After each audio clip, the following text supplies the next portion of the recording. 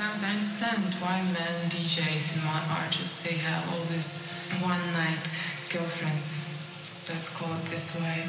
Because they're just lonely, you know, they want some communication after you know, because you're so energized after the show and you're just coming back to your hotel room and there's nothing that you can share.